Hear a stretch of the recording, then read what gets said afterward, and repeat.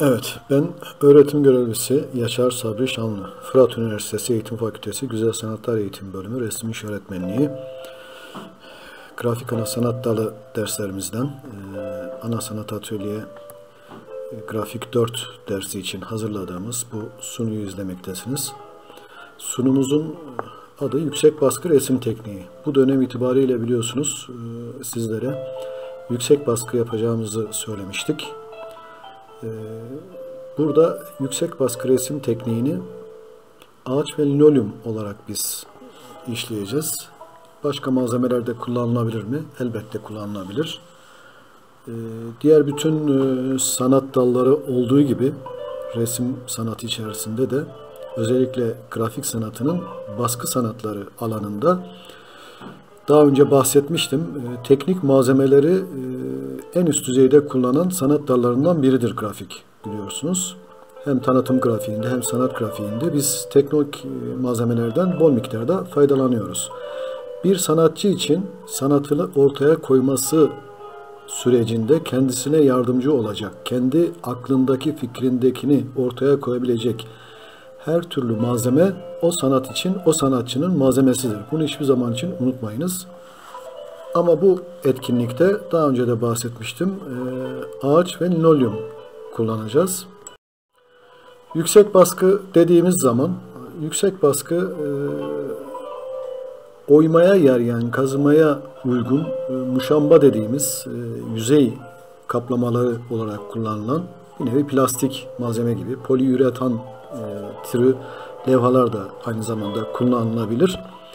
Yani oyduğunuzda belli kısımları yüzeyde kalan her tür malzemeyi aslında kullanabilirsiniz. Çünkü yüksek baskı dediğimiz zaman e, bir malzemeyle e, baskı kalıbını, yüzeyi oyduğunuzda üstte kalan kısımlara boya verdiğimizde ve orayı kağıda aktardığımızda eğer üstte kalan kısımlar kağıt üzerinde çıkıyorsa o baskı tekniğinin adı yüksek baskıdır. Tam tersi olduğunda da tabiatıyla ne oluyor? Çukur baskı olmuş oluyor. Yüksek baskı aslında insanlık sanat tarihi içerisinde en eski baskı tekniği olarak kabul edilir. İstenilen görüntüsünün baskı yüzeyinde oluşması ve kabartma haline alması amacıyla düz yüzeyli bir malzemenin yüzeyinden bir miktar kazıma, yontma ilkesine dayanılarak yapılıyor bu sistem. Aslında basit bir sistem. Oyma ve kazıma ile elde edilen kalıbın üzerine rulo ile baskı boyası veriliyor. Yüksek yerlerin almış olduğu boya baskı yoluyla tekrar kağıda geçirilmiş oluyor. Baskı kağıdın arka yüzüne tahta kaşığın sırtı ile veya bir tahta ile sürülerek veya yüksek baskı presi ile de gerçekleştirilebiliyor. Her renk için ayrı kalıplar koymak gerekiyor. Eğer renkli baskı yapmak istiyorsanız aynı kalıba farklı renkler sürerek çok renkli baskılar da yapılabiliyor. Hazırlanan kalıp veya kalıplarla birçok sayıda baskıda ortaya çıkarabiliyorsunuz. Yüksek baskının tarihsel gelişimine göz atacak olursak eğer, oyularak yapılmış tahta kalıplardan resim basma tekniğinin e, özellikle Çin'de 3. yüzyılda ortaya çıktığını tespit etmişler. Ee, milattan sonra 105 yılında Çin'de kağıdın yapılabilmesi baskı sanatının da aynı zamanda doğuşunu aslında hızlandırmış. Uzak Doğu ülkelerinde başlayan tahta baskı sanatı daha sonra batıya doğru taşınmış. 14. yüzyılda bunun başladığını görüyoruz. 18. yüzyıla kadar da devam etmiş ve kitap resimleme sanatının doğmasına da aslında sebep olmuş. Burada dikkat ettiğimiz zaman konuların genelde dinsel ve yazı ile resmin bir arada kullanıldığını görüyoruz. 17. yüzyılda uzak doğu ülkeleri ekonomik ve kültürel alanda üstün düzeye ulaşmış olarak görüyoruz. Konular günlük hayattan gerçekçi bir görüntü içerisinde verilmiştir.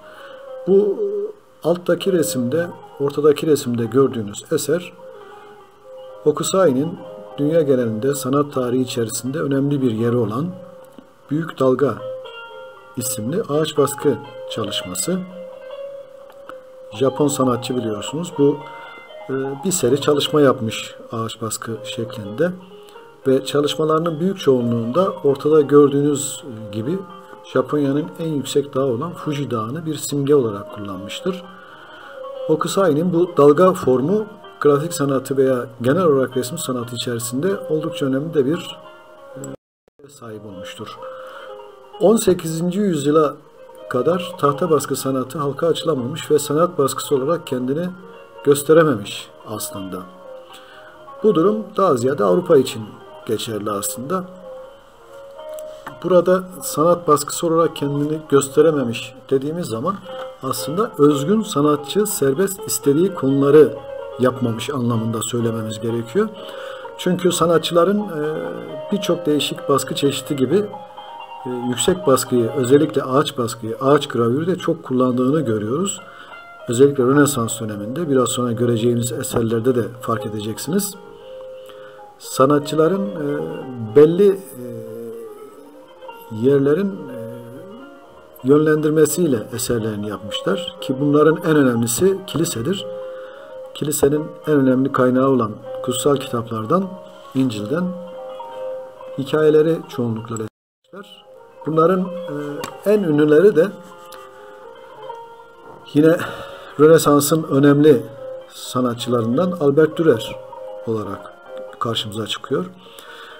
Albert Dürer'in çok miktarda eseri var ama aslında gravür yani oyma sanatının en önemli tarihteki tarihi kişilerinden birisidir. Kendine ait biliyorsunuz A ve D'den oluşan e, monogramını da bir nevi imzasını da eklemiş. Bütün baskılarında bunu düzenli bir şekilde kullanmış.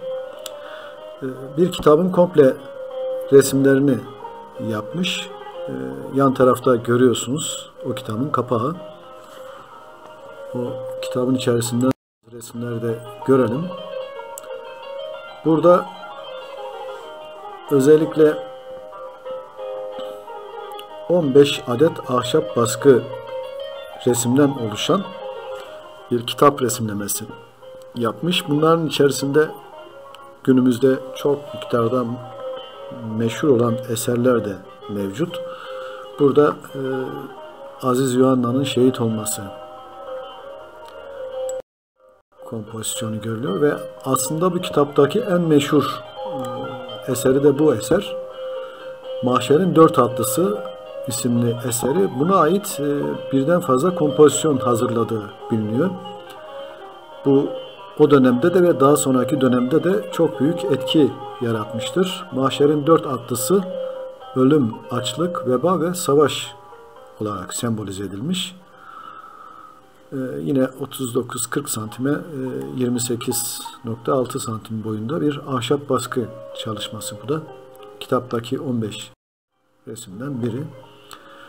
Burada Büyük Tutku ve Meryem'in hayatı ahşap baskı serilerini de yapmış.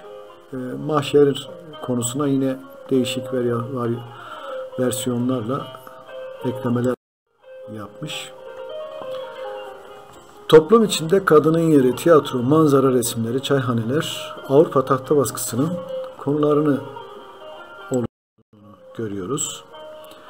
18. yüzyılda e, yine bir gravürcü Thomas Büyük gravür tekniğini ağaç kalıbı aktarmış ve bunu yaparken de kayın gibi sert ağacı veya meyve veren ağaçları kullandığını görüyoruz. Dünyanın en popüler illüstrasyon literatüründe yer alan William Morris ve Gustave Dore eserlerinin çoğunu 14. yüzyılda tahta baskı ile Kendisinin bir eserini görüyoruz. 19. yüzyılın ikinci yarısından başlayarak sanat tarihinde ismini yazdıran Manet, Renoir, Cezanne ile başlayan ve daha sonraları Van Gogh ve Gauguin ile devam eden tüm sanatçılar Japon tahta baskı sanatından etkilenerek incelemeler yapmışlardır. Toulouse-Lautrec, Matisse ve Picasso da bunlardan biridir. Bu sanatçıların e, Japon tahta baskı örneklerini ele geçirip bunları da inceleyerek bunlardan etkilendiklerini günümüz sanat eleştirmenleri ciddi bir şekilde savunmaktadırlar.